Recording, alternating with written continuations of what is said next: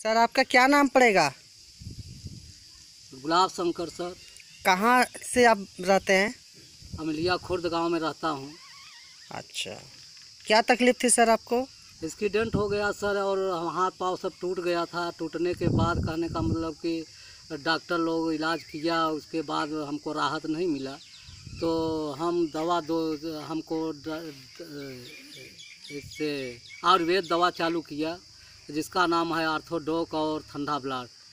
कौन से दवाई ले रहे हैं सर? दिखा सकते हैं? है सर। आर्थोडोक ठंडा ब्लाड। कितने दिन से सर ले रहे हैं दवा ये? चार महीने से। कितना रिज़ल्ट काफ़ी है सर आपको रिलीफ? Fifty percent. क्या इसके पहले चल नहीं पा रहे थे आप? चल नहीं पा रहा था। क्या आप चल लेंगे? आप चल रहा हूँ खूब।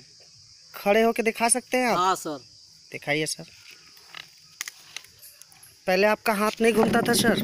नहीं सर।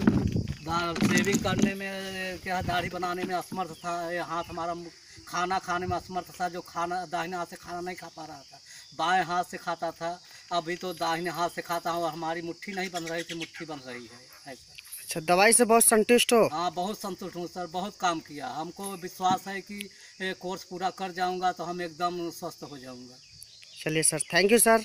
आपसे दो बातें करके मज़ा आ गया सर। Thank you स्लीपियस